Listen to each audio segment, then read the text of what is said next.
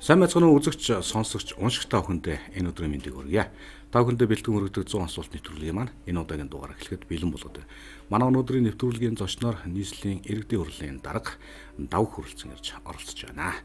Сайн байна уу танд энэ өдрийн мэндийг хүргье. За танд ч гэсэн энэ өдрийн мэнд хүргэе. Юуны өмнө бидний урилгыг хүлээн авч нэвтрүүлэгт маань хүрэлцэн ирж оролцож байгаа. Танд маш их баярлалаа. Тарган сайхан үйлчж байна уу?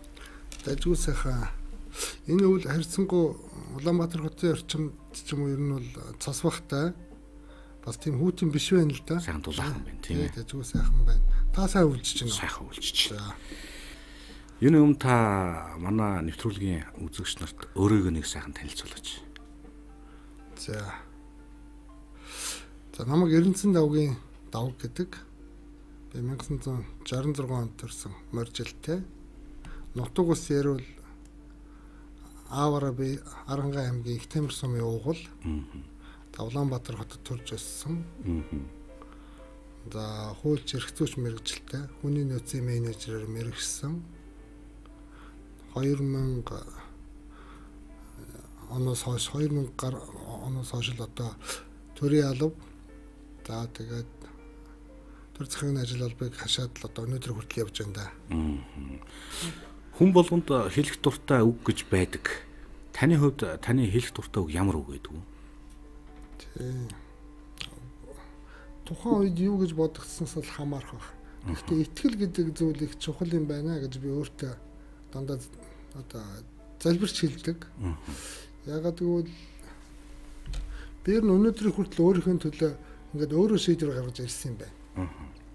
Надад зөв санагдвал зөв, надад буруу санагдвал буруу л гэж боддог магадгүй аав ээж маань надад их ойрхон байгаагүй ойрхон өсөж чадаагүй. Тийм учраас одоо өөрийнхөө төлөө өөрөө шийдвэр гаргадаг. Тэгээ миний эргэн тойронд одоо надтай хамтарч ажилладаг одоо олон найз нөхдүүд би. Тэгээ тэр хүмүүсийн итгэлийн хүчээр гэх юм уу та тэд нэртэйгээ харилцсан би юунд итгэж чаддаг тэр итгэлийн хүчээр өнөөдөр хүртэл магад амьдрч яваа байж болох юм. Тийм учраас бусдын итгэлийг хүлээж олж авна гэдэг их чухал зүйл юм байна. А тэгээ тэрийг хадгалах нь хадгалах нь бол тэрнээс ч хэцүү зүйл байдаг юм байна л гэж боддог. Та бүр багтаа ямар мэрэгчлээ болно гэж мөрөөдчихсэн бэ? Би долоон буудалд өссөн. Тэгээ хамар хашааныхаа хүүхдүүдтэй гудамжинд байлдад тоглоод тэр үед одоо тийм социализмын үеийн кино түүл юм чинь бол одоо цэрэг аримтай холбогдолтой ч юм уу те тэг магтан дуусан кино юм гардаг байлаа л да. Ерөнхийдөө бол би цэрэг хүн болно л гэж боддог байсан. Гэхдээ харамсалтай нь миний хүснэр болоогүй. Би цэргийн сургуульд ороогүй. Харин цэргийн алба бол хаасан. 3 жил цэргийн алба хаасан. Тэгээд шал өөр мэрэгч сонгосон та. Сонгосон ч гэжтэй амьдралын ихээр явж байгаа л тэгэл энэ мэрэгжлийг эзэмшээл Тэгэл одоо ингээл энүүгээрээ л ажиллаад ингээл ингээл явж байгаа. Стресс гэдэг зүйл байна. Ер нь хэр стресс нь орж ин та? Байна. Хүн л юм чинь. Ажил албанаас бол. Хүн л юм чинь стресслгүй яах вэ? Ялангуяа зүгээр нийслэлийн иргэдийн төлөөлөгчдийн хурлын даргын ажил олгомжлолыг хашиж байгаатай холбогдуулаад янз бүрийн асуудал байна. Өдөрт их олон хүнтэй уулзсан. Аа тэр хүмүүс хөв хөвсгөлийн янз бүрийн асуудал ярина асуудлыг шийдэж өгвөл би сайн хүн болно. Асуудлыг шийдэж өгч чадахгүй бол би муу хүн болно гэдэг юм ингээд их зовлонтой. Гэхдээ хууль эрх зүйн хүрээнд нийцүүлжил тэр улсуудын асуудлыг шийдвэрлэх, сонсох, гарцыг нь гаргаж өгөх ч юм уу ийм л байдлаар л одоо ажил амьдрал үргэлжилдэг. Тэгэхээр стресстлгүй яах вэ? А зүгээр стрессээ яаж гаргах вэ гэвэл тэгэл ороо гэр бүлдээ гэрте харьсан хойно л жоохон тайвширдаг юм болов уу? Гэж бодож шүү. Тэр хүмүүсийн асуудал нь дийлэнх нь ер нь юу байгаад тах шүү. За янз бүрээ. Янз бүр. Одоо нийгэм чинь ингээд нэг юм бас юу байна. Ороо бусгаа гэдэг шиг хүмүүсийн одоо амьдралд хандах хандлага, төрийн албаа агчдад хандах хандлага ч юм ингээд нэг тийм жоох экстрим маяг юм байна.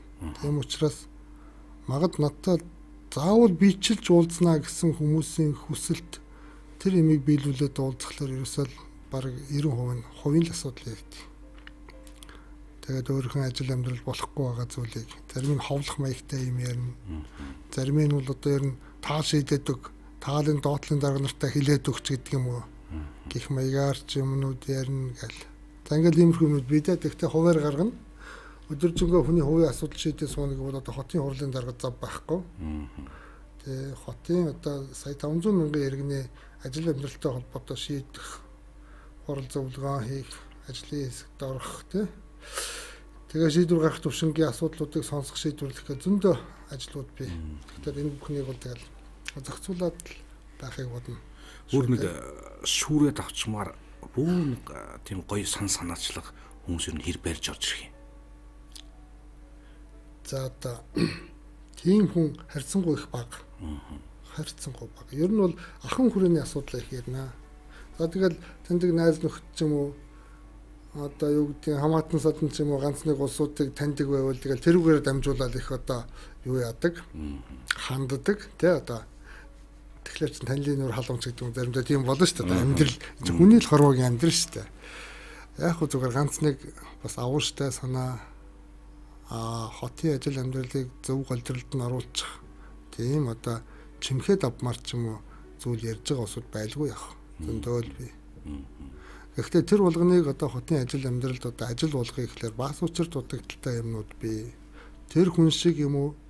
А миний сонссон шиг битээрээ ойлгосон шиг нөгөө асуудлыг цаашаа ярихлаар ойлгох ч юм байна, ойлгохгүй ч юм байна. Хотын ажил амьдралтай эцсийн шийдвэр бол бас хамтын шийдвэр маягаар гардаг. Иргэдийн хурал дээр гардаг. Иргэдийн хурлаас одоо баталж өгсөн тэр бүх ажил төрөл юмыг бол хотын дарга бол одоо гүйцээж байгаа шүү дээ. Тэгэхээр хамтын шийдвэрдээ ч бол өнцөг өнцгөөс нь ярина бас зовлох вэ. Би би. Та ер нь ямар зан аранштай хүн болоо? Яг хүмүүс бол намайг дөлгөн л гэж харддаг баг. Жохон намуухан байж болох юм аа гэх. Гэхдээ би тийм дөлгөн хүн бол бас биш. Хизээ хаана хэдий ааш аяг гарах уу гэдгийг бол бас анзаарнаа. Анзаарна. Тэгэхдээ ажил олб хашиж байгаа хүн тэр ажил олбон дээр их ихтгэл өмчлөлтэй байх хэвээр. Тэрийгэ тэмтэрч үзсэн, мэдэрсэн байх хэвээр болов гэж бодож байна.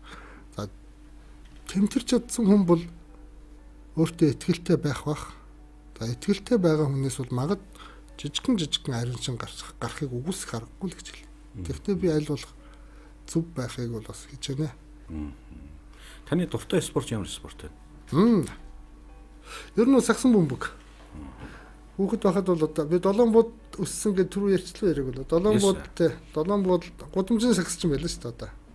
Тэр үед чинь ингээл нэг юм төмөр шон зоож байгаа л хідэн банд зэрэгцүүлж чадаал. Тэгээд нэг юм угаалгах төмөр ингээд дугурхыг болгож нэг хүн гүйж гагнуул завал тэгэл гудамжны хүүхдүүд бүгдээрээ л чөлөө цагийг бол тэр сагсны шийдэн дээр л өнгөрөөдөг байлаа шүү дээ. Тэгээ одоо ч гэсэн ингээд дотоодын ганц хоёр лиг байна Тэгээд NBA энтриг бол ер нь яаж игээл үзхийг хичээн. За ороо гэртээ очиод хэдийд ч орсон бай. Шүн 12 цагт орсон ч байсан. Нөгөө SBS гэдэг нөгөө спортын сувг дээр ороо уулган NBA-гийн нэг 20 минут гардаг. Цаа уух зураач ч юм уу унтахаас өмнө энэ заавал тэр таймыг нэг дохижсэн ч хамаагүй харчгаад тэгээд тэгээд хөвтдөг дээ. Өндөр болохоор нэлээ саг сонжогддог байсан. Ер нь нэлээ нуруулсан юм а. Та метр хэдтэй вэ? Метр 86 байна. Өндөр гайг өндөр тоонд бол орхон дээ. А тэгнэ. Би ер нь ингэж гарч ирдэг хүн цөөхөн мэдгэсэн надад. Шүү. Би ч ер нь өндрийн тоонд орно да. Ийм байдаг гэж сүүлийн үед залуучууд маань энэ мансуур болгоц хар тахал гэж хэлэгдээд байгаа зүйлд нэлээд уран татгатаж ингэж явж лаа л да. Энийг хараад ер нь та эмзэлж гин үү? Амар. Одоо энэ асуудлыг бол ялангуяа хүн болгон цааштай анхаарах хэрэгтэй. Энэ бид нар ингээд ярьсаар байтал өөрөөр хэлбэл дөрвтэй арга хэмжээ авахгүй ярьсаар суутал энэ нэлээ юм хүчээ аваад одоо нэлээ өргөж хандлагатай болж байна. Энэ мас масууруулах бодисоос өрчин сэргийлэх ажлыг бид нэр их тийм нийгмийн хүрээнд том давлгаа болгож төрийн одоо байгууллага хувийн хөвшил гэлтгүүгээр бүгдээр одоо хүч тавихгүй бол энэ маш аюултай үзэгдэл маш аюултай зүйл рүү залуучуудаа алдчихвал Монгол улсын үндэсний аюулгүй байдлын хэмжээнд нөлөөлөх ийм одоо ноцтой байдал бий болно л гэж би бодож эмзэгэлж суудаг. гарцаа байхгүй те нэг анхаарахгүй байх ямар ч боломж байхгүй. Маш ноцтой зүйл. А энэ зориулдаг энэс үрсэн сэргийлэх ажилд зориулдаг хөрөнгө мөнгө гэдэг мөнгө бий. Тэгтээ их өчүүхэн. Хэдэн одоо ийм боршуур сурталчилгааны материал хэвлэгтүүдэд ч юм уу а зарим нэгэн төрлийн албан агчдыг одоо энэ чиглэлээр тодорхой юм сургалт зохион байгуулах маягаар ч юм уу ийм л байдлаар одоо нэг зохион байгуулж байгаа. Тэгэхээр нэлээд ийм хөрөнгө мөнгө тавьж жоохон дөрвтойхон тийм л одоо арга хэмжээнүүд авах хэрэгтэй. Ер нь залуусын хүсэл мөрөөдлийг өөр зүйл рүү чиглүүлэх тийм ямар нэгэн зүйлийг бий болох хэрэгтэй.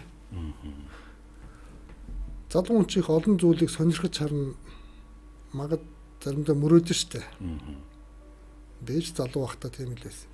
Тэгэхээр тэр сэтгэлийн нэг залуу хүний сэтгэлийн мэдрэмжинд тулгуурсан тийм үржилсэн зэрэглэх ажлыг л бид зохион байгуулах хэрэгтэй л гэж бодож байна. Таны хамгийн үнэт зүйл юу вэ? За хүн болгон янз бүрээр хэлэх баха. Гэр бүл үр хүүхэд энэ төр гэлтэй. Би бол их орн гэж байна. Монгол улсын төлөө зүтгэе гэж хэлэх чинь одоо хамгийн эрхэм зүйл үсттэй. Би бол тэгж ойлгож байгаа шүү. Та яг хизээ өөр өөртөө хамгийн ихтгэлтэй байдаг. Тий, хүн болгон амьдралын төлөө зүтгэдэг юм чинь өөрийнхөө бодсон зүйлийг хэрэгжүүлсэн үедээ л тий ингээд нэг жоох ихтгэл төрөөл ихтгэлтэй алхаал. Гэртээ орж ирээд ингээд нэг аяг цагаа бариад диван дээр суухтаа хүртэл тэгээд нэг юм гоё ихтгэлтэй суудаг шүү дээ. Тийм тохиолдол биш шүү. Тэгэхээр би бол тэгж л харж байна. Та нийслэлийн иргэдийн хуралд бас баггүй олж ил ажиллалаа л та. Тэгээ би юу ч асуух байна нөхөр. Ярмаа энэ ажил албан тушаалыг дагаад нэр хүнд бол ирхэн дамжихгүй юм тийм ээ. Мөнгө төгрөг ирэх үү? Хэрэг мөнгө төгрөг ирдэг гэж хүмүүс ойлгол энэ авилгал дээ. Албан тушаалын байдлаа уруулан ашигласан нөхцөл байдал үүсчих нэ гэж ойлгоно.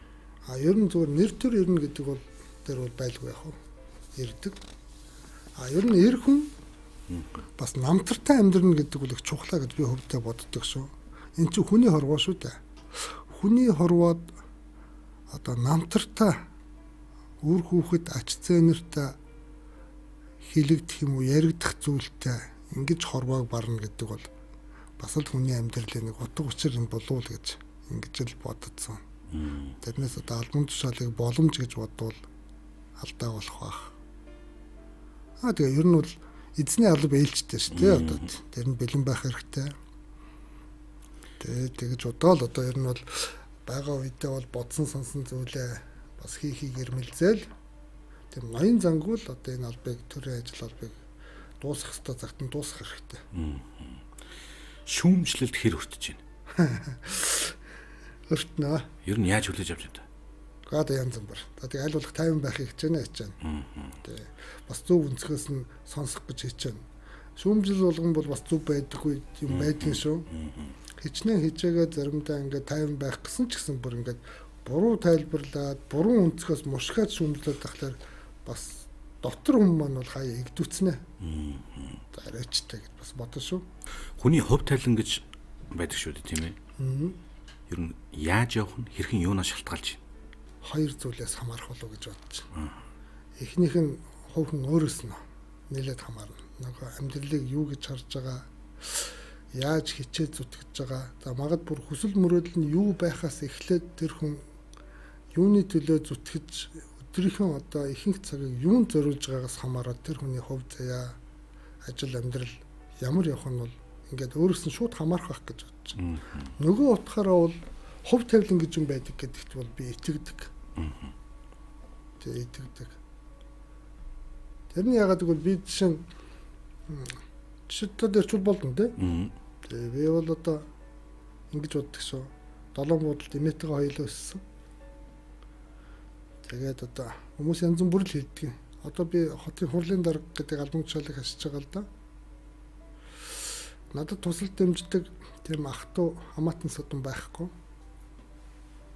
Манай дөрвөн хүүхэд их эцгээсээ бүтэн өмчүүлсэн. Тэгээд тэр дөрвөн хүүхдийг аав ээжийнхэн талын ах トゥ нэр дөрвөн тийш нь авч яваад дөрвөн өөр айлд хүн болцоосон. Бүр овгууд нь хүртэл өөр. Манай ээж хүний ганцхан хүүхэд тэгсэн хэрнээ дахиад хүнд өргөгдсөн. Айлын өргөмөл охин. Тэгэхээр ах トゥ их муутай. А тэгээ би түрүүн танд хэллээ шүү дээ би өөрийнхөө төлөө одоо өөрөө шийдвэр гаргаж ирсэн гэж. Тэгэхээр өнөөдөр ингээд нэг ийм ажил албан тушаал хашаад явж байгаа гэдэг нь мэдгүй байна. Одоо хувь тавилан юм уу, бурхны зурсан зураг юм уу одоо бүү мэдл гэж бодож байгаа. Яг би хичээдэг л дээ. Гэтэ миний хичээл зүтгэл гэдэг бол бас тийм ч их одоо өндөр үзүүлэлт биш л гэж би бодож байна. Хичээлгүй яг. Та нэг сард зөвхөн өөртөө зориулж хичнээн төрөх цацруулдаг бай. Одоо бусад ирчүүдэд цалингаа бол ингээ гэр бүлийнхээ тушаана. Аа сангийн яамдаа тушаа штэ. Яг би бол төсөв бүрдүүлэгч нөхрөлдөө. Та бүхэн ч юм бол тийм хөв зээтэй хүмүүс штэ. Бурхан бид нарыг бол зурхтаа улс орны болоод өрх гэрийн төсөв бүрдүүлэгч одоо тийм хөв зээтэй зурцсан байхгүй та бүхэн яригдчихэж байна. Тий, тэгээд юугаа өгчнө. Цалингаа их нэгтэй өгнө карта. Аа тэгээд сарын цалингийнхаа хэмжээнд л зарцуулна да. Тэгээд миний хэрэглээ харьцангуйч бас бага юм дөө. Гайгүй дээ тэгсгэл нэг костюм нэг зангаа цомц ингээд байвал да ер нь тэгэл баг болчих маягтай л ингээл. Манай төлөөлөгчд ер нь сарын цалин хэд үдий?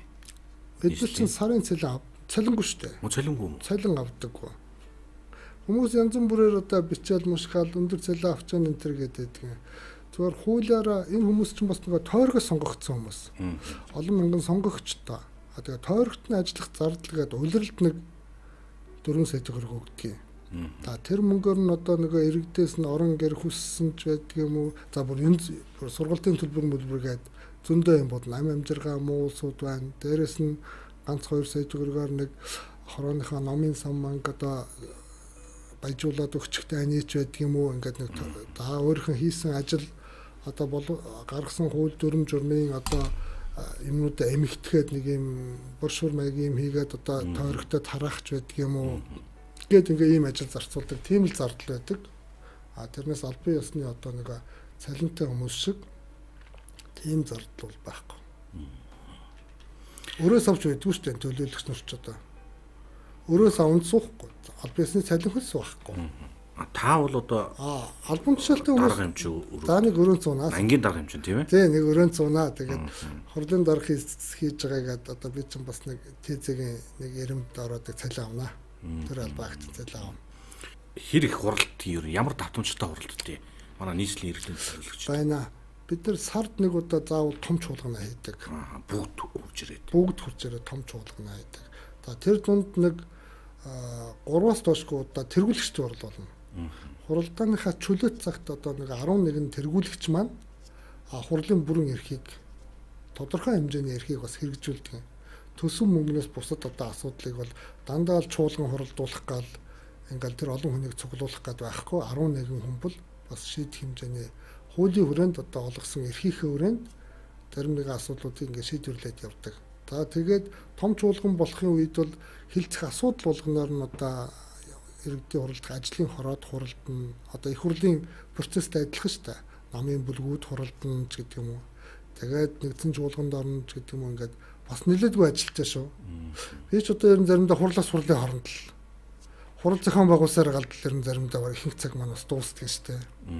Ажлын хорооны хурал, намын бүлгүүдийн хурал, том чуулганаа зохион байгуулна, дунд нь тэргүүлэгчдийн хурлаа зохион байгуулна, тэргүүлэгчдийн хуралдаа нь хилцэх асуудлуудаа эренблэн, том чуулганаар хилцэх асуудлуудаа эренблэн, тэрийг нөгөө өргөн барьж байгаа нийслэлийн засаг даргуулаад түүний харьяа газар агентлахуд нөгөө асуудлаа өргөн барьж хуралд оруулж ирнэ. Тэр нь бэлэн болж үгүй байна уу? Болоогүй бол энийгээ буцаа дахиж оруулж ирч гэдэг юм уу? Ингээ хянан шалганч гэдэг юм ингээл бас асуудлууд байна. Зөндөө юм болно шүү.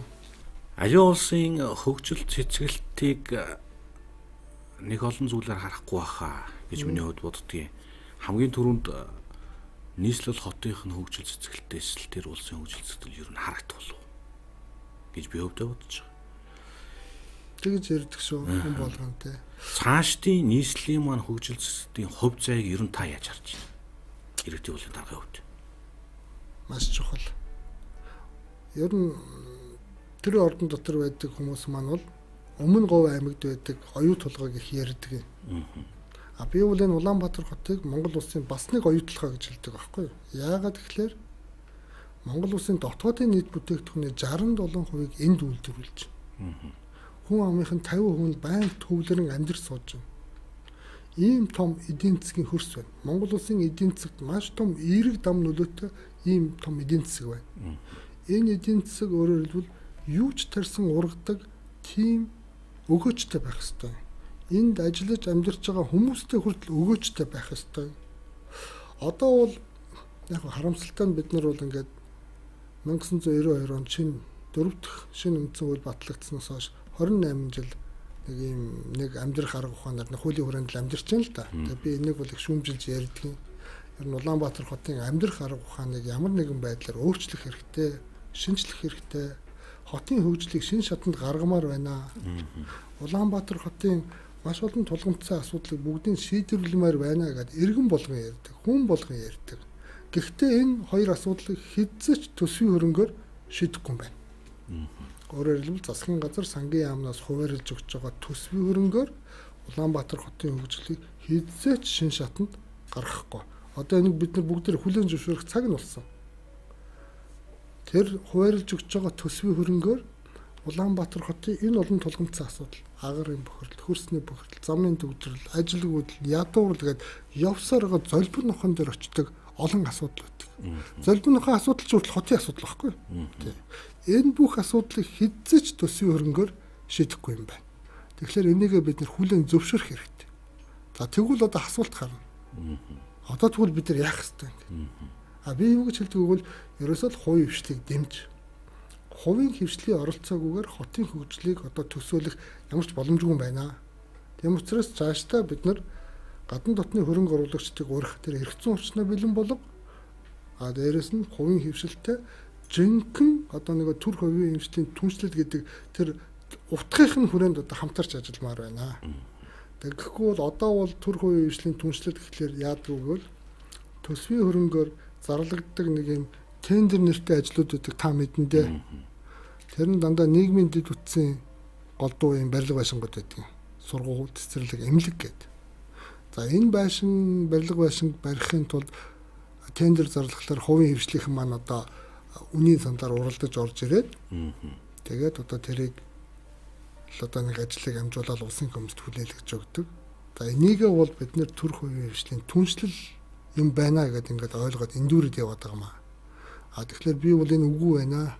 Цаашдаа бол хувийн хвшлийнхэн өөрсдийнхөө эрхэлж байгаа үйлдвэрлэлээ тэлэх бизнесээ өргөдөх тэр боломж нөхцөлийг олгож өгсөн тийм хамтын ажиллагааг ярмаар байна. А ер нь бол ингээд хуучин нийгмийн үед би ч хуучин нийгмийн үед төрж өссөн шүү дээ. Хуучин нийгмийн үед ч бол одоо улс орон яриад, их орон яриад, нийгэм яриад их орныхоо төлөө гэл ингэдэг байлаа шүү дээ, тэ. Тэгвэл би одоо юу гэж хэлэх гээд байна вэ гэвэл ерөөсөө л иргэн бүр хүн бүр өөрийнхөө төлөө а зөвхөн гэр бүлийнхээ төлөө тултал ажилламаар байна л гэж хэлмээр хүн бүр. Яг өөрийнхөө төлөө тултал ажил. Бүх хүчээ гарга. Энэ бол хотынхоо төлөө, эх орныхоо төлөө ажиллаж байгаа ажиллаа л гэсэн үг. А тэгэхгүй одоо нэг их том юм яриад та хотынхоо төлөө, нийгмийн төлөө одоо ингэх хэрэгтэй гэж одоо тийм хэлээч хэрэггүй. Зүгээр л одоо шулуухан ярьж штэ тийм өөрийнхөө төлөө, гэр бүлийнхээ төлөө тултал ажил. А тэгвэл энэ хот хөгжин улс орон хөгжин гэж хэлмээр байна. Ер нь Улаанбаатар хотын амьдрах арга ухааныг бид нар ямар нэгэн байдлаар өөрчлөх ёстой. Тэр цаг нь болсон. Бидэнд шинэ амьдрах арга ухаан хэрэгтэй байна. Танд өөрийн гэсэн нэг амьдрах арга ухаан байдаг. Та зөвшөөрч байгаа. Тий, байдаг. Таны гэр бүл хүртэл өөрийн гэсэн амьдрах арга ухаантай. Тэгвэл Улаанбаатар хотын амьдрах арга ухаан цаашдаа яг юу байх? Яг би амьдрах арга ухаан байгаагүй байгаагүй гэж хэлэхгүй л байна л да хотын хөгжлийн төлөөх бодлогын баримт бичиг бол ингээ бот бот номнууд байдаг. Гур бот ботоор. Тэр олон бот номон дотор маш олон зорилт бий. Оо тэгэн тэгэн ингэн тэгвэл ингэн ингэн гэдэг. А тэр олон зорилт болгоных нь ард талд хэрэг ямар нэгэн байдлаар мөнгө тавихгүй юм бол эн чинь зүгээр л цаас юм байна. Тэгвэл амьдрал хэрэг болохгүй энэ цаасаар яадаг? Шулуухан хэлэхэд, хатуухан хэлэхэд. Тийм учраас бид нар Улаанбаатар хот засгийн газраас хуваарлж өгдөг тэр төсөв хөрөнгийг дахин хуваарлаа сууж яадаг энэ гунигт амьдралаас салах хэрэгтэй. Бид мөнгө олдог хот болох хэрэгтэй. Хүмүүсийн ажил амьдралыг тав тухтай болгохын тулд хичээдэг өөр ингэсэн эрх мэдэлтэй тодорхой хэмжээнд захиргааны улаас санхүүгийн эрх мэдэлтэй ийм хот болох хэрэгтэй. Энэ бүхний шинжилгээг хаанаас эхэлж хийх вэ гэвэл эрх зүйн шинжилгээсээ эхлэе. Хотын төлөө хийх ажил их байна. Бид сая өнгөрсөн өвөл агаарын бохирдлын эсрэг тодорхой арга хэмжээнүүдийг ямар ч байсан авчлаа. Үрдүн гарсныг нь одоо тав тэр энэ хоёлоо яриад яг. Өөр хүмүүс дүгнж байгаа. Яг гоо агаарын бохирдлыг арилгасан үг бол хараахан үгүй. А бууруулж чадсан үг бол би тийм гэж хариулна. Тэгэхээр цаашдаа замын одоо түгжрэл нийтийн дээврийн асуудал ч гэдэг юм уу хөрсний бохирдол гээд хотод одоо бас тулгамдсан магад гамшигын хэмжээнд ирсэн асуудлууд байна байна. Тэгээ энэ бүхнийг шин амьдрах арга ухаанаар бид өөрчлөх хэрэгтэй. Сая энэ 100 өнгөрсөн намар бол улсын их хурл үндсэн хуулийн шинжилгээ асуудлыг ярьлаа. Тэрэн дээр Улаанбаатар хоттой холбоотой хоёр шинэ үзэл санаа суусан. Хүмүүс тэр болгон мэдэхгүй байж магадгүй. Тэр нь ямар үзэл санаа юм бэ гэвэл үндсэн хуулийн үзэл санаа сууд юм ба штэ. Яг органик хуу шиг тэгн ингэн ингэн гэсэн заалтууд орохгүй. Тэгэхээр ямар үзэл санаа суваа гэвэл улсын харьяалалтай нэгдүгээрт улсын харьяалалтай хот тосгоны өөрийн удирдлагын зохион байгуулалтын зарчмыг хуулиар тогтооно гэдэг нэг үзэл санаа суусан. Хоёр дахь нь улсын харьяалалтай хот тосгоны засаг захиргааны зохион байгуулалтын зарчмыг хуулиар тогтооно гэсэн өөрийн удирдлага гэдэг энэ хоёр үгэн дээр одоо бид нэр ажиллах ёстой л гэж би хэлэх гээд байгаа. Би түрүү Улаанбаатар хотод захиргааны эрх мэдэл, санхүүгийн эрх мэдэл хэрэгтэй байна л гэдэг шүү дээ. Тэгэхээр тэр нь бол бид олсон мөнгөө төвлөрүүлсэн орлогоо өөрсдөө захиран зарцуулдаг. Эргээд тэр мөнгөө нийслэлийн иргэдийн амьдрах орчин нөхцөлийг сайжруулахын төлөө зориулдаг тийм эрх мэдэл бидэнд хэрэгтэй. Татвар та бол нэг бас татвар төлөгч байхгүй юу?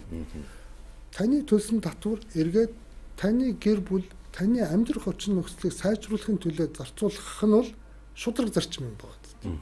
Тэгэхээр хотод олсон орлого тэр татварын хураамжт юм эргээд таны төлөө зориулагдах ёстой гэдэг зарчмыг бид цаашдаа барьж ажиллах ёстой л гэж ингэж хэлмээр. Танд таагүй хүмүүс ер нь хэр олон байдаг бол байгаа баха. Яагаад би хүн болгон таалагдах ёстой гэж. Тэгээ наад би асуудлыг шийдэж өгч чадаагүй ч юм уу. Магад тэгээ би буруу зүрх харагдаг гэж болно шүү дээ. Тийм. Байхыг үгүйсэхгүй тийм хүмүүс.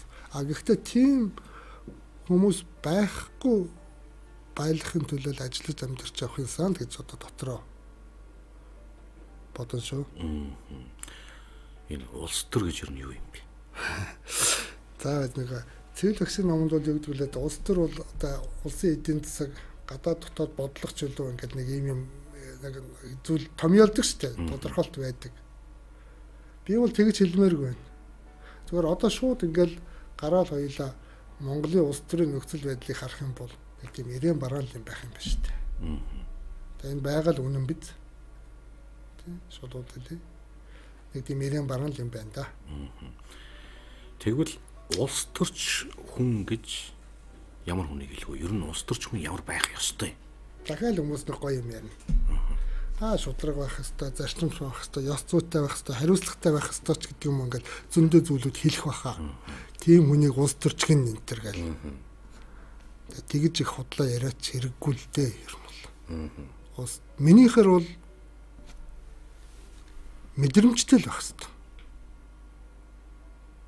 гэж л Тэр нь улс төрдөж биш. Яг нь өөрийнхөө ажил, амьдрал, харилцаа тэр улс төрийнхөө одоо үйл явц гэдэг тэр бүх юмд хүн ер нь мэдрэмжтэй л байх хэрэгтэй. Гутлынхаа нэг юм үг байдаг да. Төвчулмаа. Гутлынхаа өсгийний шурааг арчдаг хүн бол их өндөр мэдрэмжтэй хүн гэж. А тийм хүмүүс бол дандаа гялалтсан амжилттай явдгаа гэдэг нэг үг байдаг штэ. Тэгэхээр гутлынхаа өсгийний шурааг арчих мэдрэмжтэй байна гэдэг бол их чухал гэж би бод гэж. Та ер нь өөрийгөө юунд зориулагдсан хүн гэж боддог вэ? Би ер нь бусдад зориулагдсан хоо. Ягаад ч юм би өөрийнхөө эргэн тойронд байгаа хүмүүсийн төлөө ингээд дандаа ажиллаж амьдраад юм байлээ. Би саяхаа нэг бодож үзчихсэн нэг ороо. Тэгсэн чинь би ерөөсөө л ингээд өөрийнхөө эргэн тойронд байгаа хүмүүсийн л одоо тэднэрт үүссэн бүх асуудлыг л одоо зохицуулахын төлөө төрсөн юм хаашаа нэг тэгээд тэр болгонд нь санаа зовж явдаг тэр болгонд нь өөрийгөө хамаатуулдаг магад тэр болгоны шийдэхин төлөө би оролцож явдаг ч юм уу нэг. Тийм хүн юм байна гэж өөрийгөө харсан шүү нэг дүгнж бодсон шүү би саяхан. Тэгээд би ер нь бусдын төлөө л ажиллаж амьдардаг хүн юм байна дөө. Надад юу байгаа гэсэн чинь нэг өмсөх хувцас байна. Тий за яг нэг гараад унвал нэг хувийн машин байна. Асаагаад гарвал. За тэгэл болж ах шүү дээ. Тэгэхээр өнөөдөр хүртэл одоо чи юу бүтээсэн ямар капитал бүрдүүл үгэвэл тэгэл энэ бусдад бүгдийг зориулсан байх жишээ нь л байдаг юм байна даа л гэж харж байна. Таны гарын хоол юу вэ? Шүлтэ хоолнуудыг янз бүрээр хийнэ. Шүлтэ хоол чи ер нь бол одоо бас тэгэд нэг тийм юу яадаг л хүний лайран шүү дээ. Бушуу түргэнтэй шуурхаа хийж гисэн амарчлах гэсэн хүний хандлага байж магадгүй. Гэхдээ ер нь бол би юу яадаг юм аа өөрөө зохиогоод хийчихдэг шүү дээ. Бага юмыг харж байгаа л хольж утгаал нийлүүлэл ямар ч жоргүй тэгээд зохиогоод утгаал тэгэл манайхаа тэгэхээр амттай болсон байна л гэдэг тийм. Будаатай шүлмөлийг бол ер нь бол дажгүй юм шүү. Таны үг хэр хүчтэй вэ? Хүмүүст нөлөөлөд идэг тэр хүчтэй гэх юм уу юу гэж ойлгох юм бүү нөлөөлдөг. Сайн муу үг нэг хэлэхгүй юм. Тэгэхээр хүмүүс тусдгийг шүү миний хэлсэн үгнүүд. Тэгээ би анзаардаг тэрийг. Зарим нь үйлүүлчин, зарим нь баярлуулчин ч гэдэг юм уу. Заримынх нь амьдралд нөлөөлцдөг ч юм уу нэг тийм байна байна. Би бас хэлнэ. За хурал дээр нэлээ өчтөө өглөх үү? ангийн даргын хувьд. За хэлнэ. Яг хөө тэгтээ тэн чи бас там тун таарахгүй болохгүй. Би тэднэр чи ямар өөрийнхөө хүүхэд чиг загнаад байлтай нь шүү дээ. За хотын харьяа газар агентлагийн дарга нар гэдэг нэг 100 гаруй хүн орж ирсэн. Тэр болгоныг одоо би бас боссуу чи тэг гэдэг ингээд цэргийн хүн шиг бас командлаад яж болохгүй тий. А гэхдээ үг хэлнэ. Ер нь бол одоо хотод бол би нас нам ажилласан туршлага юмараа бол би нэлээд хуучныхын тоонд орно яг ер нь чулууга хэлэхэд над бол одоо айж ичих алгаа алга. Би хэлэх гэсэн үгээ бол хиндэн ч хэлждэг. Тийм л. Та хэдэн наснда би гэдэг би хүний мэдэрч эхэлсэн бэ? Баг багтаа юм уу? Би ер нь 5 6 дугаар ангиас эхлээд эмээдээ туслахын тулд айлын ажил хийдэг байсан юм аа. Намар болохоор хадлагын ажилд явна 100 бол одоо юм хогийн шүүрэн шүү дээ. Туучур гэж ярьдаг байсан да. Хогийн шүүрний өвс явж зулгаадаг байсан. Тэгээ тийм ажлуудыг хийдэг. Тэгээд нэг туучрын өвс зулгаах гээд явсан морин тэрхтээ долоон буудлын нэг өвөд туслана. Тэд нар бас хүүхдүүд мөхтүүдтэйгээ нийлээд явна. Тэд чи бизнес хийж байгаа байхгүй? Тэгээд одоо 30 40 тийм шүүр хийгээд одоо зараад нэг нь 10 төгрөгөөр зардаг чинь зах дээр 10 байсан тийм ээ. Тий 10 төгрөг гэдэг. Тэгээ ингээд 40 шүүрхлээр чинь 400 төгрөг болох нь шүү дээ. 7 хоногийн дотор ч юм уу. А би тэр ажилд нь туслана, өвсийн зулгааж өгнө. Тэр сакс өвснүүд ингээд сайхан тэгшилж байгаад үзүүр хэсэг саксгарын одоо хангинуур сүхээр чавчиж одоо нэг тэгшлэн тэгээд нэг замын хар хавт бас хайлуулад артлын наан нэг өвсний өнө пресс төмөр утас тэр мөрөчин гоё тэгшил цэвэрлж одоо нөгөө зэвэрч мэвэрсэн байвал зүлгүүрээр ингэ зүлгэж ачиж цэвэрлж өгнө. А ишиг нэг модоор энэ чин гоё ингэ бас зүлгүүрээр ингэ сайхан зүлгэж гоё өөг гарт өргөс орохгүй болтол хийж өгнө, цоолж өгнө бүр ингэ. За тэр бүх ажлыг хийж өгөөд нэг хоёр ширхэг шүүр авдаг байхгүй. Ажлын хөлс өгч байгаа надад. Тэгэхээр нэг нь нэмээд өгчөөд А нэг нь нөгөө өвөөдө буцаагаад өгдөг байхгүй. Та энийг өөрийнхөө зарах одоо шүүрнүүдтэй нийлүүлээд зараад надад зараад өгөөч гэдэг. Тэгээ яг нэг хэд хоногийн дараа нь 10 төгрөг өгдөг байхгүй. Тэгээ тэрийг нэмээд байгаа. Тэгээ одоо бодохнаа. За тэгээ хатлангийн ажил. Миний одоо хамгийн хийж сурсан хар бор ажлаас юу вэ гэвэл бас хатлангийн ажил. Дандаа айлын өвс хадаж өгч байсан. Тэгээд Миний нүдийг боогоо тавьчихсан ч би хадлагын ажлыг бүх л ажлыг нь тэмтрээч баг хийн. Одоо тэр техник юм уу тэр юм нь ингээд миний биед бүр ингээд шингэсэн байна гэх юм уу да. Өв садахта ширвэхтэй хүртэл яаж ширвэх вэ? Бухал яаж хийдэг юм? Бухлаа яаж цагаалдаг юм? Бухал цагаалахын тулд одоо доотлын шор модыг нь хүртэл ямар мод сонгодог юм? Шилмүс модны нарийнхан мөчр мод шургааг сонгодог юм уу? А навчит модны те хусны одоо тийм шургааг бус нарийн мод сонгодог юм уу энэ төр гэдэг. Машин дээр өвс яаж ачих уу гэдэг хүртэл технологи байна тэр үед зээлзэн 30 машинд 20 бод бухал өвс аждаг хүн бол хамгийн сүрхийн хүн байлаа шүү дээ. Хүмүүс 20 бухалыг ачиж чаддаг. Их сайндаа 15 бухалыг ачдаг ч юм уу. Тэгээ 20 бухал ачих гэж хичээдэг гэдэг юм уу ингээд. Тэгээ энэ цаг үеэс зүгээр би өөрийгөө би юм байна. Би би хүн ч гэдэг юм уу магаж тооцож эхэлсэн баха. Таны амьдралдаа хамгийн их ичиж исэн тохиолдол олон зүйл байдаг. А нэг хөгжилтэй зүйл байна. Би 6 дугаар ангида дөрвөн үлрэл дараалан онц сурдаг юм байна.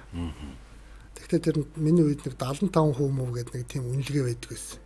20 хичээлийн 3 хичээл дээр нь 3-аас бага хичээл дээр сайн гарвал тэр хүүхдийг онц гарлаа гэдэг байсан байхгүй. Тэгээ би дөрвөн үлрэл дараалан ингээд онц сурсан чинь тэр долоон буудлын сургууль надад нэг пенерэнсэнд амрах эрхийн бичгээр шагнадаг байхгүй намайг. Тэгээ эмээтэйгээ хоёулах нь өссөн нэг мө бацаанд пенернслэнд амрах битёв гүгнэ гэсэн ч одоо бүр зүүдэнд ч ороогүй их л одоо сайн сайхан бас. Тэгээ явлаа. Баялаа. Тэгээ би ганцхан гуталтай. Тэгсэн чинь очиод 3 4 хоноо байжсэн чинь гутлын маань өсгийний хойтлын хэсгийнх нь улан салаад наах гэсэн чинь одоо цав мав юм олддгоо. Дахиад баг 10 хонсон баха. Тэгээ ийм даавны нарийнхан юм цуулж байгаад ингээд уяад шилбээр уяад тэгээ пенерслэн дуусах гэсэн тэр их л эсчгэвтер байсан да тэр үед үеийнхээ охтуудаас ч их ичдэг байсан санагдаж байна. Их л эсчгэвтертэй байсан да. 6 дугаар ангийн хүн юм чинтэй тийм ээ. Солих гутал байдгүй. Аа хэцүү байсан хэцүү байсан. Гутлынх нь улан салдсан. Давуугаар татаад шилбэрээ татаад уйчихсан нэг тийм хөвгөлтэй зүйл болж ирсэн юм да. Амжилт гэж танихаар юу вэ? Амжилт гэж зүтгэл юм болоо. Бодсон төлөвлөсөн мөрөөт эхлээ бүр мөрөөдсөн юм байна. Мөрөөдсөн тэгээд бодсон төлөвлөсөн хүн бол зүтгэдэг юм байна. Тэгээд зүтгэж чадсан хүн бол амжилтанд хүрэх. Амжилтанд хүрдэг юм байна л гэж ойлгож байна. Та өөрийгөө хэр амжилттай яваа гэж боддог? Миний амжилттай яваа эсхийг бол би бас өөрөө хэлж мэдэхгүй юм байна. Хүмүүс юу гэж харах юм байгаа юм бүү мэд. Найз нөхд маань юу гэж харах юм, гэр орныхан маань юу гэж харах юм, ах дүүнэр маань юу гэж харах юм, хамт ажилладаг хөдөлмөрийн хамт олон маань ч юу гэж харах юм. Яг хөө зүгээр нэг энэ хэмжээний ажил албамжшил явж байгаа нь амжилттай гэж харж болох л юм. Амжилт гэдэг бол нэг аз жаргал энтертэйгээ бас уялдах баха. Амьдралдаа одоо аз жаргалын тэр олон мэдрэмжийг мэдэрч байгаа хүн бол тэгэл амжилттай яваагийн шинж болов гэж боддоо шүү дээ. Та өөрийгөө нэг үгээр тодорхойлооч. Өөрийгөө юу? Наачаас хэцүү асуулт юм. Нямба гэх үү? Намаг би сонгоны архин дүүргийн тамгын газар ажилладаг гэсэн хэвхэв. Манай тэр тамгын газрынх намайг хоорондоо юу гэж ярьдаг гэсэн тэр ингэдэг гэсэн. Энэ дарга байна уу гэдэг. Дохиогоор хэлж штэ. Тэгээ дохиогоор хэлж штэ. Миний нэр мэр байхгүй тэр заа. Одоо хүмүүс ойлгоноод. Бүр нэр мэр байхгүй. Зүгээр энэ байна уу гэдэг гэж байгаа юм чи. Юу гэсэн ч үг энэ тэр нь одоо. Одоо одоо ингэдэг үү? Тэр чинь сурцсан чинь нь сурцсан юм байна тийм ээ. Тийм арилдаг юм байдаг штэ. Тэгээд ер нь ингээл ингээл юм уу те. Тэгээд ингээл идэг юм байлээ. Би өөрөө бас хаяа анзаардгүй юм тийм тохиол байна.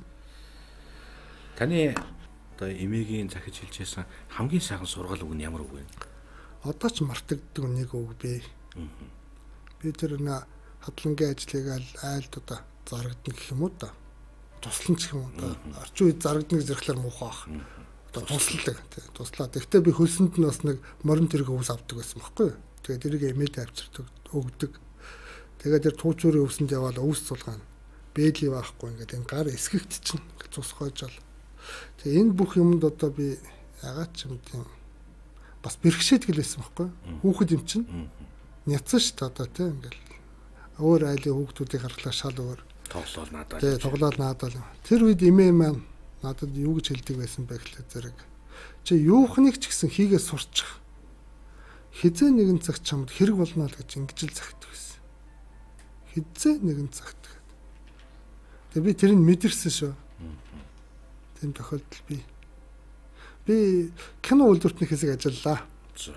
Тэгсэн тэр үед чинь байгууллагууд ингээд нэг юм төлгөөтэй хадлан хадаж улсад тушаадаг байсан та санаж байна уу юу? Тийм тохиолдол байдаг байсан. Тэгсэн би дөнгөж ороод байжсэн чинь намар нь хадлан явах. Шинко өмч одоо хамгийн түрүүнд хөөгддөг юм байна. Тэрс те хамгийн түрүүнд л одоо чи яваа л гэнтэгэл. Тэгээ очисон чинь нэг 7 8 залуучууд нэг хоёр өвөөтэй тэр хоёр өвөө нэг шимэсэг юм хүмүүс давтаж ингэж одоо хадлан бэлдэж өгөх үүрэгтэй хүмүүс баггүй. Тэгээ нэг хоёр тогоочтой Ингээ нэг 7 8 залуучууд бат. Нөгөөдөл замдаал та ер нь шимэсэг барьж үзсэн үү?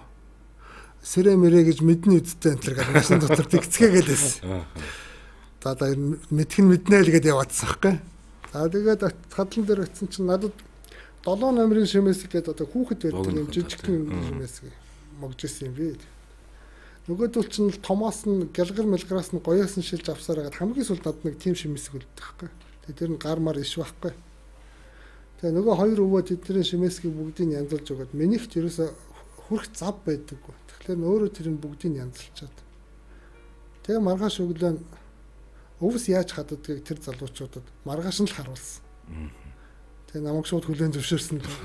Тэр үед нөгөө эмээгийн хэлсэн үг бодогдоод чи юухан ч хийгээ сурсан хизээ нэгэн өдөр чамд хэрэг болно гэсэн чинь би тэр багаасаа нэг их магтаал хүртэж үлээ.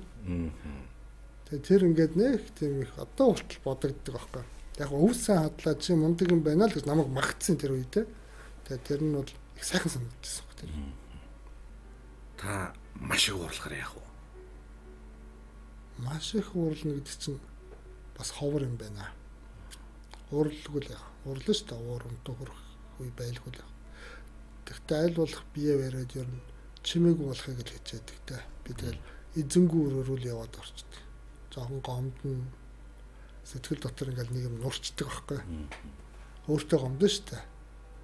Таны дургу үг ямар үг вэ? Яг сонсох дургу үгнүүд бол зөндөл байдаг. Хүмүүс бол хараалын үг мөг ингээл хэлэх байх л да. Би бол зөвхөн баларлаа яана гэл ингээл хүмүүс нэг уулгалддаг ч тийм. Тиймэрхүү үгнүүдийг ер нь бол жоохон сонсох дургу. Тэр бол нэг нэг юм хувийн зохион байгуулалт магад тооцоолоогүй мэдрэмж муутай улсуудаас л гардаг л үг юм болов гэж боддог шүү дээ. Тэгэхээр бас амны бэлэгч гэж хэлдэг дээ ер нь хүмүүс. Тэр агуулгаар нь би зүгээр тийм үгнүүдээс жоохон цэрвэд идэх байхгүй. Баларлаа гэдэг ч одоо балар баларсан үнийг хэлнэ үстэй тий. Тэр чинь арай өөрөөр хэлж болдго юм тэр ч одоо. Одоо яах вэ гэдэг юм уу тий. За би баларсан л гэх бол одоо юу гэсэн ч үг. Тэр мөрөөд чинь та мөрөөдөл байна. Хамгийн сүүлж юу мөрөөд? Мөрөөдөлгүй бол хүн ингээд тэмүүлэлгүй болчдаг. Хов хүнийхээ өвч ч гэсэн хөгждөггүй. Энэ муу мэдээ гэж би хардаг. Тэгэхээр хамгийн сүүлдэг бол би одоо ажил олгомж бол хасж байгаа хавьд Улаанбаатар хотын дэргэд эдийн засгийн чөлөөт ус байгуулчихсан гэж мөрөөддөг.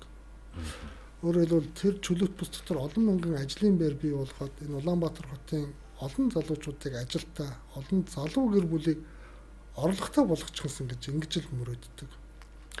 Энэ буян тухайн цаахан талд шинэ нисэх онгоцны буудал, хуучин нисэх онгоцны буудал хоёрын хооронд л эдийн засгийн чөлөөтөс байгуулах юм бол энэ Монгол орны эдийн засагт их том эрэг дам нөлөө үзүүлнэ гэж хувьдаа боддог.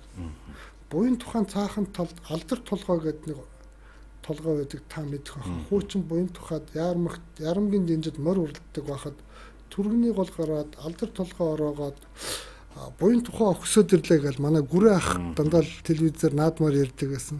Тэгээ би тэр алдар толгоон ороо дээр Улаанбаатар эдийн засгийн чөлөөтсөн гэрэлт самхахыг босгохоос ингэж мөрөддөг шөө.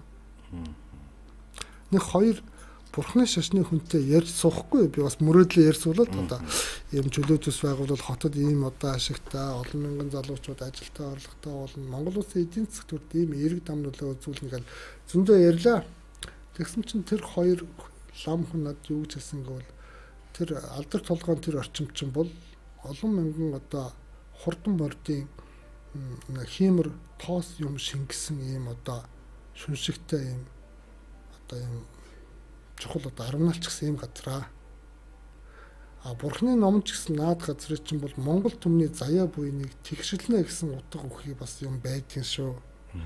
Тэгэхээр тэр алдар толгойн ороод тэр чөлөөт ус байгуулна гэдэг чинь ямар сайхан санаа вэ гэдэг бас надад нэг их урам өгсөн. Тэгэхээр яг дотор өөртөө өөртөө өөрийгөө тоогоол за би зүг л явсан байна даа гэж тэр үед бас бодож л байлаа. Та зүг бодож байгаа юм байна боломж бидэнд байгаа юу? Бага. Яаж яах вэ? Бага. Эргэцэн хүрээнд асуудлаа эхлээ шийдэх хэрэгтэй. Ер нь энэ асуудлыг би сүүлийн 2 жил нэлээд хүчтэй ярьж байгаа. Засгийн газар ихний ээлжинд засгийн газрын шийдвэр тэмдэглэл юмнуудаа гаргаад эхэлсэн. Улаанбаатар хотын дэргэд эдийн засгийн чөлөө төс байгуулах асуудлыг судал гээд барилга хот байгуулалтын яам хотын захиргаа хоёрт үүргөгчсөн. Тэр чөлөө төслийн үзэл баримтлалын төслийг бэлдэж ир гэдэг ингээд үүргөгчсөн.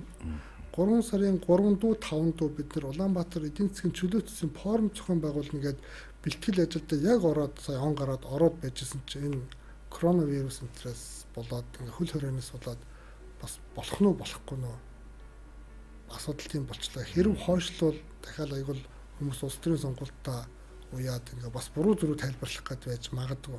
Уг нь энэ асуудлыг улс төржүүлэхгүйгээр хотын одоо ажил амьдралыг хэн удирдах өөрөөр хэлбэл эрх мэдэлд хэн байгаа тэр дорж дулмаагаас үл хамааран энэ хүмүүс энэ чөлөөт ус гэж чимээ ямар нэгэн байдлаар байгуулах хэрэгтэй л гэж би ингэж хэлмээр байгаа. Дэлхийн олон өндөр хөгжилд орсон хүрсэн хотууд бүгд гадны хөрөнгө оруулагчдыг өрх замаар өөрөөр хэлбэл хотынхаа хөгжлийг шин шатанд гаргасан юм бэлэн кейс байна. Тэгээ тэрнээс бид нар татгалзах гээд яах юм бэ? Засгийн газар тийм хангалттай мөнгө бий өгвөл байхгүй. Хотын захиргаанч тийм их хэмжээний мөнгө байхгүй. Гэтэ энэ хотыг хөгжүүлэх, ажлын байруудыг бий болгох, бизнесийг дэмжих нийгмийн хэрэгцээ шаардлага байна уу байна. Тэгээ яаж хийх вэ? Төсвийн өрөнгөөр лавл хийхгүй. Хувийн хвшлийн оролцоо маш чухал. Гадна дотны хөрөнгө оруулагчид маш чухал. Үүнийг байгуулснараа нийслэлчүүд юу хүртэх вэ? Шууд хүмүүс залуу гэр бүл орлоготой болно Миний харж байгаагаар олон мянган ажлын байр бий бол. Тэр ажил дээр ажилласан магад өөрсдийнхөө амжиргааны наацхан хэрэгцээг хангаж чадах хэмжээний цалин хөлс авч чадсан тэр залуучууд ажил амьдралын тэгшрээд ирэх юм бол одоо чинь Улаанбаатар хотын эдийн засагт их том эрг дам нөлөө үзүүлнэ. Ягаад гэвэл цалингаа авсан хүмүүс чинь тэгэл кармалал одоо гэртээ хараал хав дараа суугаад байхгүй байлгүй. Гараад л худалдаа худалдаа авалт хийгээд эхэлнэ. Орон сууцны салбарт юу болох вэ? Бусад худалдаа үйлчилгээний салбарт ямар их худалдаа авалтууд хийгдэх бол чөлөөт ус зүгээр магад 100 мянга болын 50 мянган ажлын байр бий болоод сар болгон карманда 2 сая төгрөгийн цалинтай орлоготой ийм 50 мянган залуу Улаанбаатар хотын гудамжинд алхвал та юу болно гэж бодож байна? Энэ хотын эдийн засгт ямар том эрг дам нөлөө үзүүлэх вэ? Тэгвэл энэ хотынхын эдийн засаг эргээд Монгол улсынхаа эдийн засагт ямар том эрг дам нөлөө үзүүлэх вэ? Бидний амьдарч байгаа хотын хөгжлийг шин шатанд гаргах боломж а Улаанбаатар хотын тулгамдсан гэж нэрлэгдэж байгаа бүх асуудлыг шийдвэрлэх ерөөсөө гол үндэс нь юм. Яагаад хүмүүс одоо би танд нэг сонирхолтой жишээ хэлээ л да. Дүүргүүдийн хөдөлмөрийн бирж гэж байдаг та мэднэ. Тэр хөдөлмөрийн бирж дээр ингээд ажлын байрууд байж байгаа байхгүй. А тэгсээр нь ингээд гудамжинд ажилгүй залуучууд алхаад байдаг. Тэгээ энэ хоёр уулздаг, гар барьдаг. Яагаад? Яагаад? Асуулт гарч ирээд байгаа юм. Яагаад? А тэгсэн хэрнээ Солонгос руу ажиллах хүч бүртгэнэ гингүүт манай залуучууд бэрхэ дахиу очдөг. Тэгээд нэг юудэнтэй малгай өмсч ингэ сууж идэг байхгүй. За чи яах гэж байгаа гэхээр Солонгос явна л гэдэг. Тэгээд энд ихнэр хүүхдээ ингэ эзэнгүү орхигдсон. Гэхдээ чи Солонгост очиж юу хийх гэж байгаа гэхээр юу ч хамаагүй хийнэ гэдэг байгаа байхгүй. Юу ч хамаагүй. Тэгэхээр эцсийн бүлэг тэр залуу цалингийн хойноос л явж байна. За магад солонгост очихлоор нэг сая 500 мянга ч юм уу ойролцоогоор дунджаар тийм цалин авд юм шиг. Тэгээ 500 мянган нэг өөрөө тэндээ хэрэглээд нэг сая вон нааш ар гэр руугаа явуулдаг. Сая вон гэдэг нь Монгол төгрөгөөр бол 2 сая гаруй төгрөг. За яг 2 сая төгрөг явуулчих. Тэгэхээр Монгол залуу гэр бүлийн амжиргааны наазахын хэрэгцээг хангаж чадах хамгийн анган шатны мөнгө орлого нь бол 2 сая төгрөг юм байна. Ингээ бодоод олчих болж штэ. А түрүүний та бүхэн ярьдаг дүүргүүдийн хөдөлмөрийн бирж дээр байдаг ажлын байрууд дотор 2 сая төгрөгийн цалинтай ажлын байр байна уу байхгүй. Тийм учраас манай залуучууд очихгүй байна. Гар орохгүй байна. Ягаад гэвэл тэр ажил олгогч нарын санал болгож байгаа цалин амжиргааных нь наацхын хэрэгцээг хангаж чадахгүй байгаа учраас тэр залуучуудад дутуу санагдаад. Тийм учраас залуу гэр бүл чи одоо бас хэрэглээ өндөр байна шүү дээ. Орон сууц хэрэгтэй, унах машин хэрэгтэй тий эхнэрийнхээ төрсөн өдрийг нэг ресторан тэмдэглэх мөнгө хэрэгтэй. Нэг залуу ир хүнд чинь те хүүхдүүдэд сургууль сурах сургалтын төлбөр хэрэгтэй ч гэдэг юм уу. Аяг халбаг одоо шоног одоо орд иргэд одоо бүх юм хэрэг болдог. Тэгэхээр залуу гэр бүлийн амжиргааны өртөг өндөр юм байна. Аа нэг 40 50 хүрсэн хүнийх бол харьцангуй багасчдаг амжиргааны наацах хэрэгцээ. Өөрөөр хэлбэл тэр хүртлээр нөгөө хүмүүс чинь тодорхой хэмжээний капитал бүрдүүлдэг юм байна л. Тэгэхээр хэрэглээ нь харьцангуй бага илүү бас стресс бага тайванч байдаг юм уу тодорхой орлоготой болдог амьдраад байхаар байна. Тэгэхээр улс орны хөгжилд хамгийн чухал зүйл бол залуучуудын хүсэл мөрөөдөл тэдний одоо амьдралд хандж байгаа хандлага тэгээд хийсэн ажлынхын цалингийн орлого тэр нь амьдралд нь хүрч байгаа эсэх тэрнээс үүдэлтэй янз бүрийн стресс байгаа эсэх тий аз жаргалтай байгаа эсэх гэдэг юм ингээ зөндөө зүйлүүд байна. Та санаж байгаа бол бид нэр 2016 онд Улаанбаатар хотыг аз жаргалтай хот болгоно гэдэг нэг юм ярьсан. Тэгээ хот нь аз жаргалтай болно ч гэж ямар юм баах вэ?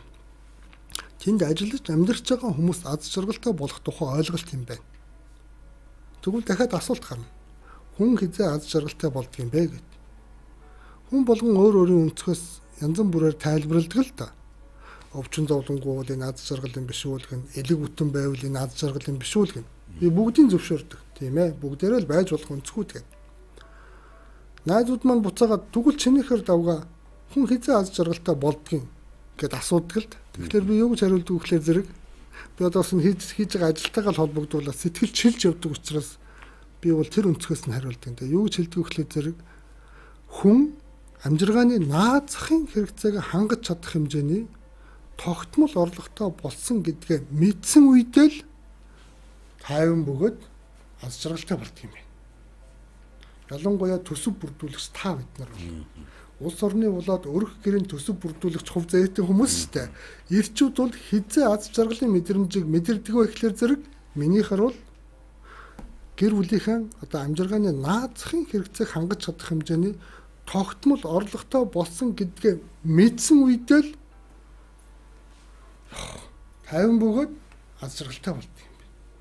Өөрөөр хэлбэл шулуухан хэлбэл карманда мөнгөтэй хүнээс аз жаргалын гормон ялгардаг нь энэ адын сэтгэлд хүний хорвоогийн амьдралын нүцгүүн юм байна.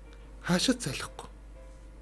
Адын сэтгэл гэдэг чинь шунлын сэтгэлийг хэлээд тахгүй хүн болгонд байгаа. Ягаад гэвэл та бидний антум адилхан чинь а тэр нөгөө эзэмшсэн боловсрол боловсрол гэр орны хүмүүжүүлж гэдэг юм уу те хэдэн булчирхаатай энтер гэл янз бүрийн байдлаас болоод яаж илэрдэг нь бол өөр өөр л байдаг баг.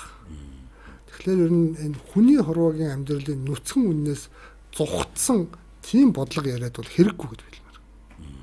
Амьдралд ойрхон байж асуудлыг зөв харж тэгээд шийдэх гарц хайхан чухлаа л гэж хэлээ да. Яалчгүй одоо энэ засгийн газар энэ нийслэлийн удирдлагуудын утаа гэдэг зүйлийг бууруулж чадсан. Тийм тийм. Энэ бас их олон хүний хамтын ажил. Тийм. Нийслэлийн төр захиргааны одоо 3500 600 гаруй одоо ажилтны хичээл зүтгэл орсон. Эрчим хүчний яам, засгийн газрын оролцоо маш их. За дээрэс нь манай нийслэлийн сая 500 мянган иргэний оролцоо бас их байсан. Тэгэхээр Дөрөвний асуусан асуултанд дээр чинь харин дахиад хариулчихъя. Энэ утааг бууруулах үр хүүхдээ одоо юу гэдэг энэ одоо айхтар том аюулаас хамгаалах том үйлсэд манай нийслэлийн иргэд бас сэтгэл гаргаж бүгдээрээ чин сэтгэлээс оролцсон. Тийм учраас нийслэхээ иргэдэд хотын одоо удирдлагын зүгээс бас баярлалаа гэж хэлэх ёстой байна шүү. Тэгээд энэ жишиг маань аймаг орон нутгуудад бас хэрэгжээл явах юм шиг байл үе шаттайгаар тийм ээ. Тэгээд саяхан өчтөр урж өдрхөн би бас нэг зүйл хараад инээдрүүж ирсэн. Нэг хүн пост оруулсан байсан. Тэгсэн чинь налах дүүрэг их утаатай байгаа юм байна шүү дээ. Би чи ийшээ гараагүй жагуудж байгаа. Налах дүүрэг их утаатай байна. Улаанбаатарын налах руу очиж одоо иргэн дурсж гин налахын цэвэр агаар амьсгалах гэж Улаанбаатар хотоор хотод орж ирлээ гэсэн юм. За яг хоо бид нар эрх өвлөөс бол тодорхой арга хэмжээнүүд авнаа. Ялангуяа захын 3 дүүргийн утааны асуудлыг бид нар шийдвэрлэнэ. Дээрээс нь Улаанбаатар хотод байгаа олон нам даралтын зуухнууд байдаг юм. Одоо тусгай зөвшөөрөл буюу тусгай хяналтын дор нүүрс оруулж ирж тэд нар нөгөө олон барилга байшин халаадаг юм уурын зуухнууд. Тэгэхээр энэ уурын зуухнуудын технологийн шинжилгээ асуудлыг ярина. Газ руу шилжүүлэх, захилгаан руу шилжүүлэх, аа мөн төвийн дулаанд холбогч гэдэг юм уу? Арга хэмжээнүүдийг аавна. За налах, багнуур мэтийн юм томоохон захын дүүргүүдийн утааны асуудлыг бол эрх өвөл шийдвэрлэнэ. За хоёр дахь сайжруулсан төсний үйлдвэр барих асуудлаа яг одоо яриад байж байна. Зүүн талдаа бид нар хотынхаа зүүн талд шинээр байгуулна За ингээд энэ өвөл одоо алдсан алдаа оноо хийсэн ажилдаа дүгнэлт хийх замаар эрх өвлийг бол бид нар одоо үнтэй сайхан давнаа л гэж бэлтгэл ажиллаа. Тэгж бодож бэлтгэл ажиллаа хангаж суугаа да. Одоо яг нийслэлд тулгамдж байгаа одоо хамгийн ихээр тулгамдж байгаа гурван асуудлыг хилээч ивэл та юу хэлэх вэ?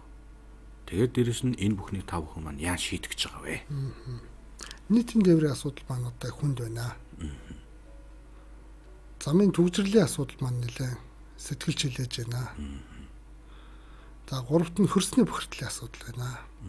Байх ёстой хэмжээс 10 20 дахин давчихсан.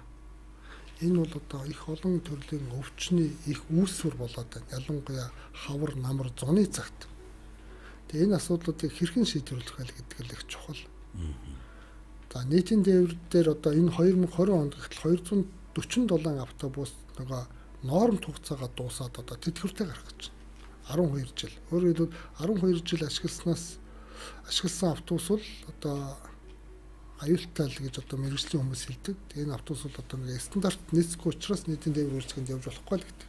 Тэгэхээр энэ нийтийн дээврийн салбарын парк шинжилтийн асуудлыг яаж хийх вэ? Хөрөнгө мөнгө яаж зарцуулах вэ гэдэг. Энэ жил ямар ч байсан бид нар 300 автобусаар парк шинжилэлт хийн. Гэхдээ урагшааныг алхах хэвээр одоо нөгөө хортхи ялгаруулдаг дизель автобуснуудыг бол бид нар нийлүүлэхгүй. Аль болох одоо цахилгаан газар ажилдаг энэ автобуснуудыг одоо нийтийн тээврийн үйлчлэгэнд гаргах ийм алхам хийх гэж байгаа. Түгжирлийн эсрэг бол хүүхдийн сургуулийн автобус гэдэг нэг 40 автобус бид нар сая 3 сарын хугацаанд туршиж үзсэн. Сошиалдын хандлага их сайн байгаа. Хүмүүс их ам сайтай байгаа. Энэ ажлаас цаашаа эрчимрүүлээч гэдэг.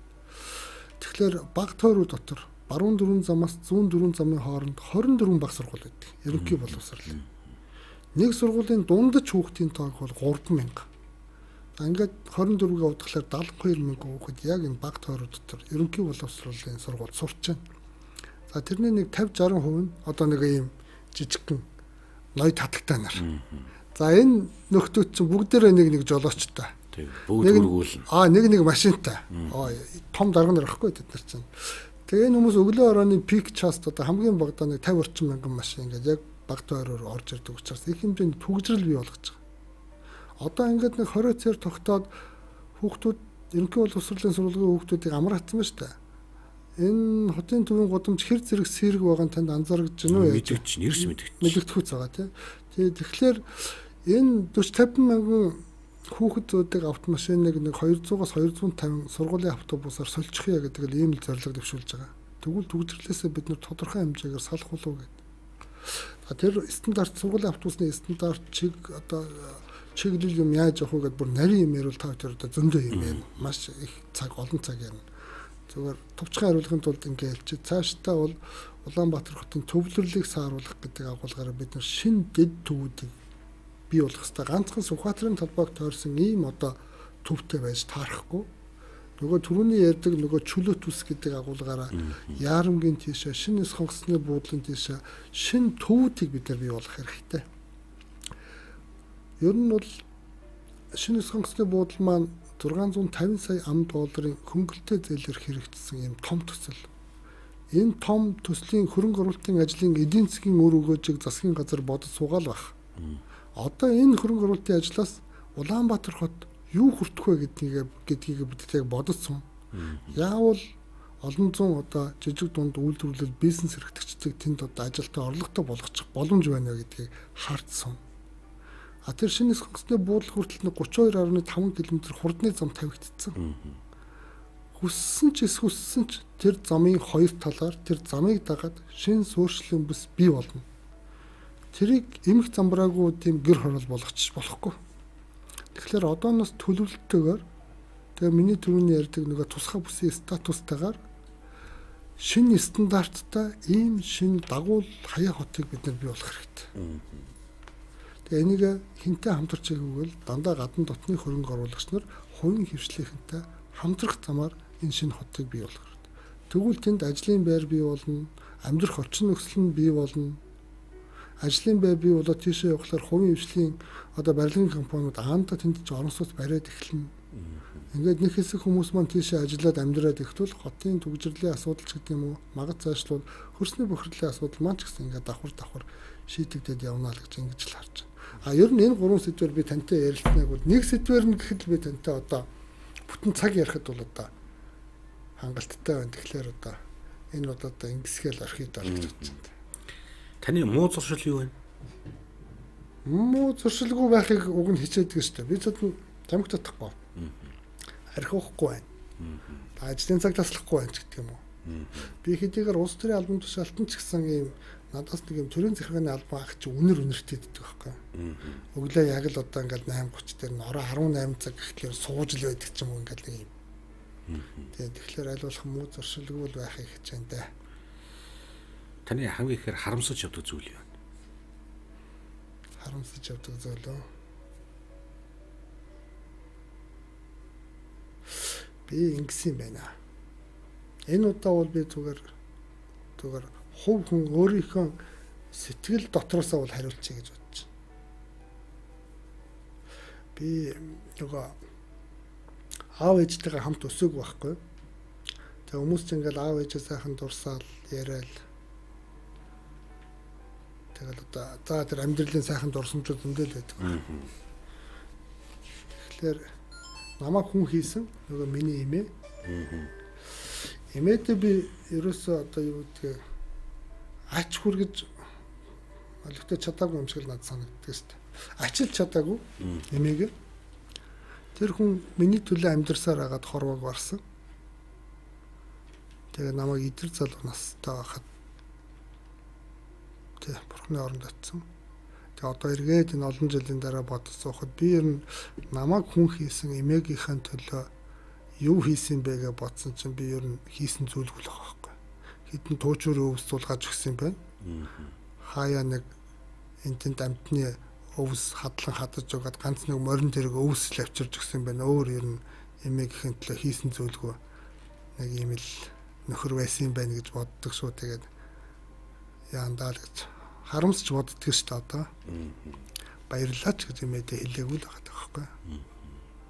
Хүүхэд байсан юм чинь гинэн байсан болов амьдралын ухаанд утсан болов Тэ. Ирээдүйн Улаанбаатар хотын хөгжлийг та яаж хардаг вэ? Гэрэл гээгээтэйгээр хардгаа бидэнд нэг сонгуулийн жилийн хугацаа зөв алхаж чадвал 4 жилийн дараа бол өөрчлөлтүүд бол мэдрэгдэн эргэцэн шинжилгээ зөв хийж чадах юм бол өөрөөр хэлбэл бид нар бусдад хэн болж харагдах гээд байгаагийнхаа ухааныг зөв болж чадах юм бол энэ асуудал хурдан хугацаанд шийдэгдэнэ л гэж байна. Бусдад таалагдж, ажиллаж, амьдрч явна гэдэг чинь өөрөө их том урлаг юм байна гэж би боддог байхгүй. Тэгэхээр үр хүүхдүүдтэй би бол энэ урлаг суралц гэж захдаг бусдад таалагдана гэдэг нь хэн нэгэн эрх мэдэлтэй мөнгө төгрөгтэй хүнд өөрөө гүйж очиж бялдуучил долгинохыг хэлж байгаа юм биш. Дор чулам таны тухай бид нэр энд хоорондоо ярихыг хэлж байгаа байхгүй юу? Манай дор чулам их ажил хэрэгч, их нямба, их ааш зан сайтай цаацчиг хүн тусархууч гэдэг юм уу те?